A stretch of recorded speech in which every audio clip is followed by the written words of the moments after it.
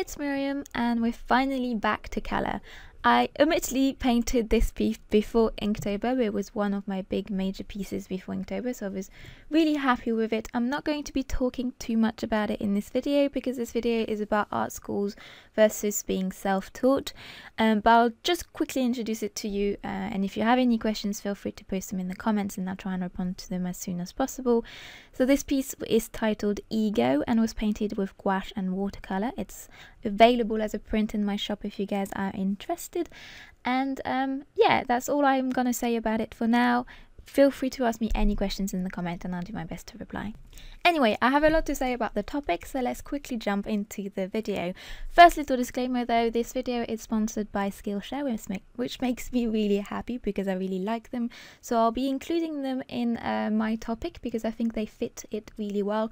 So uh, look out towards the end of the video for my thoughts on Skillshare and a little offer that they will be uh, giving you. Keep an eye out for that and the links in the description below. Okay, so a little disclaimer first. Um, I myself am mostly self-taught, although I did major in art when I was in high school, and I did a one-year art foundation in London about seven years ago. My knowledge of art schools comes from a little of my experiences, the research I did, and also my friends and family's experience, as some of them have been through full art degrees. Um, secondly, I live in the UK, I grew up in France, so I'm most familiar with the schools in those countries. From the research I have done, the basics of each schools don't seem to differ much from country to country, so I'll be focusing on those elements. So that means I won't be talking about fees, scholarship, financial aids, and etc. because um, those are elements that differ and that I'm, I'm familiar with. Thirdly, as I mentioned, this video has been sponsored by Skillshare, but they didn't choose or request this topic. I just thought it would be fitting to include them as sponsors in a video about our education. Um, I will therefore mention them in some depth, but they in no way put any words in my mouth, and all my opinions about them and this topic are all my own. Okay, so first um, I will talk about art schools and art majors. I'll define each term and we'll list the pros and cons of both. And second, I will talk about what being self-taught means and entails and I'll list a number of resources that can help you in this process. So let's dive right into it. I'll go into how and why you should decide whether going to school to study art is a good idea for you a little later in this video. First, I want to talk about the different paths open to anyone who can and wants to go to study art in an academic ac academic I can't pronounce that word academic environment. so the first path is art school. Uh, these are schools that specialize in teaching artistic subjects and focus less on having liberal arts classes. So the curriculum is very art orientated and the teachers and students live and breathe art 24 7 basically.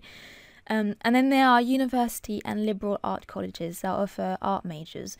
So those establishments in particular will have a stronger focus on liberal arts than art schools, and they tend to have a smaller art community. Both choices are very valid in their own ways, and whether they suit you or not will depend a lot on your approach to art, your goals, and your personality. But I mean, that also applies to being self taught. I'll put both type of establishment under the same umbrella name of art school for the sake of simplicity. They both have subtle pros and cons, but this video is going to focus on art schools versus self-taught, so I'll focus on more general pros and cons that fit both types of school. Um, in a general sense, I personally think art schools have a lot of theoretical pros. Being in an environment that was designed to focus on art will give you access to a plethora of things that are difficult to come by on one's own, namely um, equipment, which means that even if what you usually use is simple and easy to come by, you still have access to things that might broaden your taste and allow you to experiment. Second, space to make and create. Um, I know firsthand how hard it can be to find space for one's art. Expert instruction from ideally teachers that, that have considerable experience in both art and teaching, which is not always skills that go together. Um, also, a community of students that have similar interests to you and have a similar drive, which can create an encouraging and supportive dynamic environment, and that is definitely a massive plus for art schools, in my opinion. Another plus is that both teachers and students can lead to exposure and networking opportunities, And uh, that community of art schools can provide you with a very useful fundamental base on which to start building a career. Um, and finally, one of the biggest pros in my eyes is time. Um, going to art school is in some way buying yourself the time to practice your craft, and time is so, so precious. And when you want to become good at something as time consuming and complex as art, it is doubly so. Um, unfortunately, all these lovely pros are all good and well, but they can be counterbalanced with quite a few cons, like most things, I suppose. Um, but the biggest one is obviously the cost of a few years of art schools. I know our fellow Americans suffer badly from that, and I know the UK has gotten worse too. Um, I'm not against paying for good ed- education in any way. I think high quality knowledge is a precious thing to find, but it feels like it is becoming increasingly hard to not rack up unbearable amounts of debts before even starting to make a, li- a living. Um, and I completely understand not wanting or being able to do that that was one of the reasons I didn't go to university. Um, adding accommodation, food, and transport to the equation and can then make the whole situation just become more of a nightmare than the brilliant opportunity it should be. Another con is that a lot of those pros aren't given. They are ideals, and ideals often don't reflect reality. My brother went to art school uh, because obviously he loved art, but he also knew that he needed a particular environment around him to thrive, an environment where he could be taught by uh, you know rational, highly experienced teachers, where he could meet other like-minded students and work together with them. Um, he needed the energy and synergy to thrive to thrive in art basically. Um, but it turned out that he found almost none of those things. The students weren't interested in working together and they had almost nothing in common. Um, and the teachers were a world mix of wonderful or uninteresting or even kind of incompetent. So all in all it isn't terribly surprising but um, it's also really frustrating. I know that I was expecting grand things from my foundation degree, which I did in a really reputable London art school.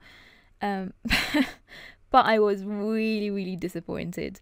My teachers were absolutely lovely, but I learned literally nothing that entire year. And lastly, art schools can feel really contrived because the focus is often on improving a students' technical skills, creativity can feel really limited. Um, art school is good to train oneself to be disciplined and productive and practice good time management, all really extremely important skills to work as a freelance artist. But it also means it's an environment in which the students are expected to produce work along a certain timeline and along a certain visual gu- guidelines. Um, add to that, that art is really subjective in a lot of aspects, and that each teacher might have very personal viewpoints. And it can quickly feel like you are working for others and not yourself anymore, I'm afraid. Um, so, if you're considering going to art school, my main advice would be to do your research really thoroughly. And by that I mean go on forums, find students and alumni and ask them questions if you can, go to the campuses and the open days, look up the curriculum and look up the teachers. Try to find out as much as you possibly can and make sure to give yourself plenty of time so that your choice isn't one made from panic and lack of time. Um, I'll also list some questions near the end of the video that you can ask yourself to determine what path might best suit you, so stay tuned for that if you're interested. Um, but first, let's talk about the other option, the self taught option. Um, it's important I note that I use heavy quotation marks when I use the term self taught, and that's because I don't believe there is, nor should be, such a thing as being fully self taught because you simply can't teach yourself something you know nothing about. You can attempt to do it and you will probably have some level of success, but you quickly stagnate or become stuck with habit mistakes difficult to shake if you never refer to higher authorities on the matter you are researching. Um, therefore, I use the term self taught really loosely and as a blanket term to cover any training that wasn't received in kind of the traditional academic setting, basically. Okay, so first, the pros of being self taught. Teaching yourself, quotation marks, uh, has the major benefit of being able to fit your learning and practice around your own life and schedule. So it's very flexible and somewhat forgiving, which can also be a con, but we'll get to that a bit later.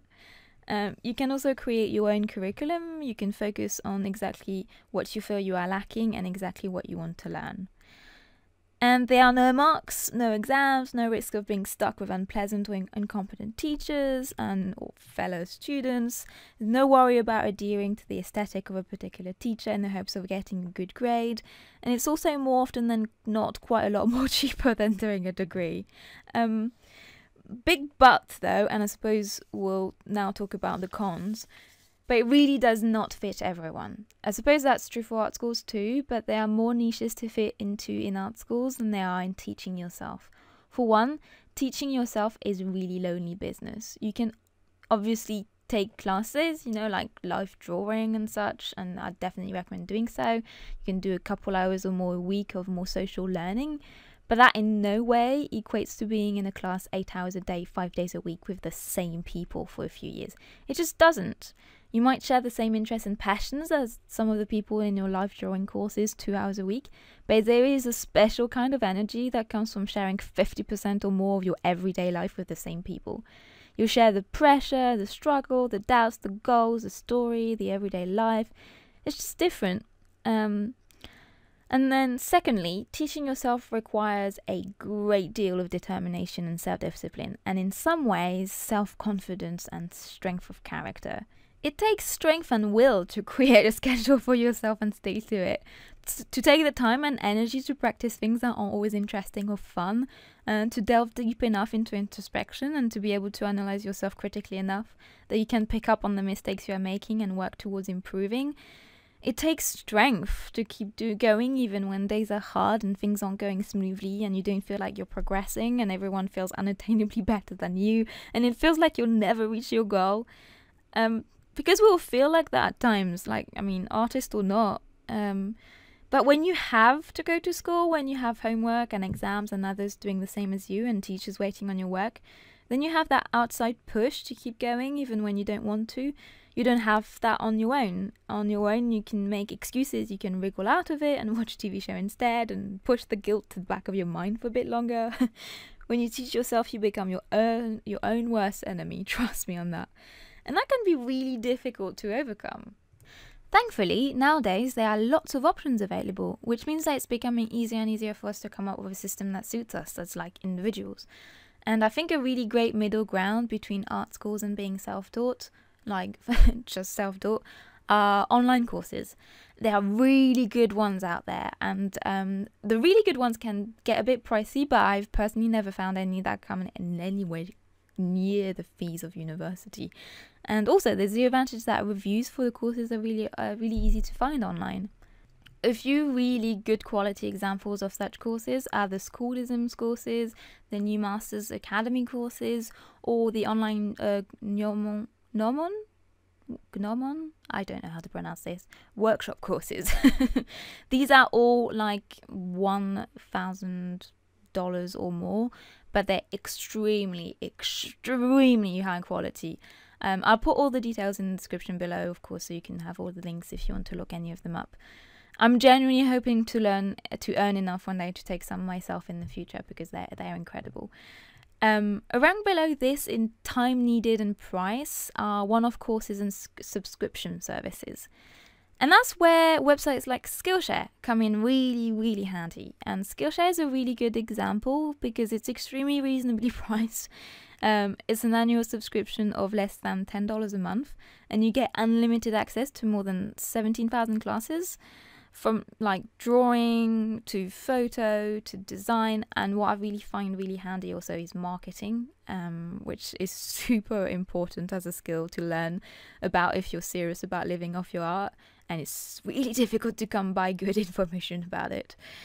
Um, Skillshare is also really friendly and unpretentious, which I personally find really important because it means that it isn't intimidating and it helps it helps one feel comfortable and at ease enough and I think that helps with productive learning basically.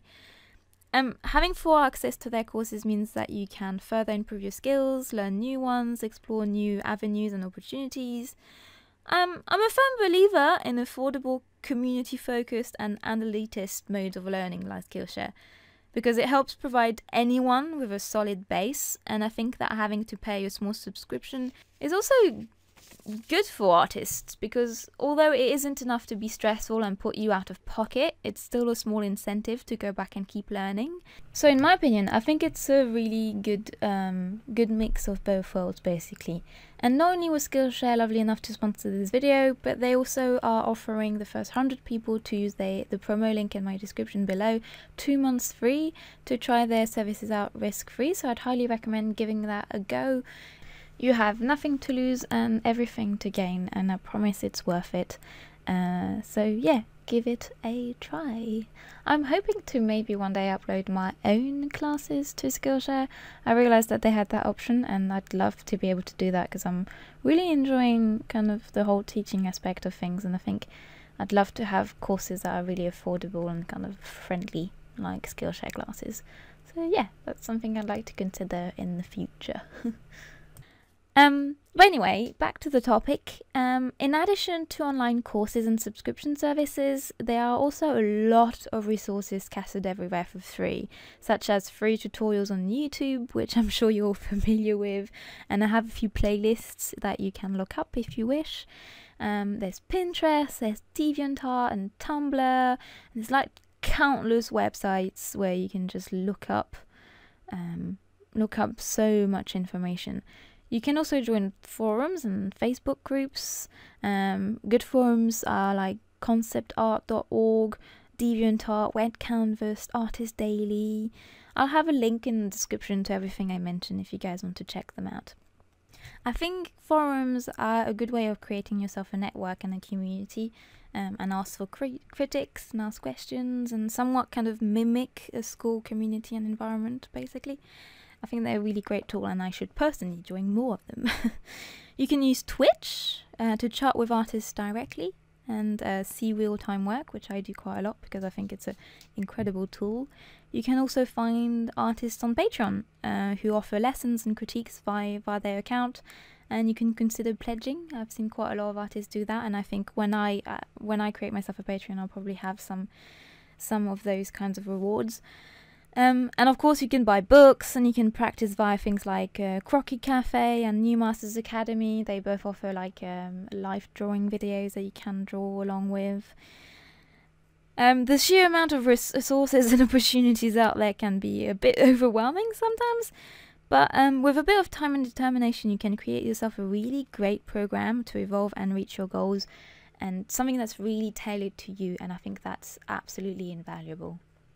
Um, but anyway, I think I need to wrap up this video now. Um, would you guys be interested in a video about self-learning resources, uh, a bit more in-depth than this one? I could create playlists for different topics and recommend channels and the like and stuff. Just let me know in the comments if you'd think that'd be a good idea.